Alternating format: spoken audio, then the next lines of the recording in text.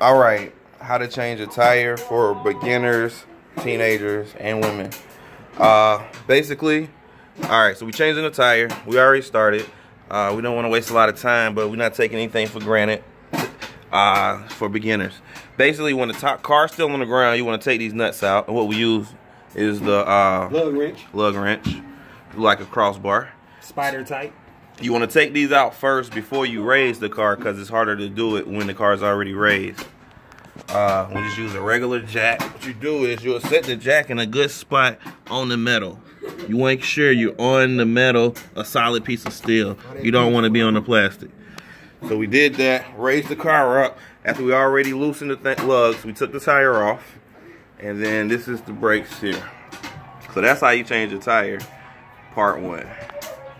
Uh, and then you grab the new tire and put it back on.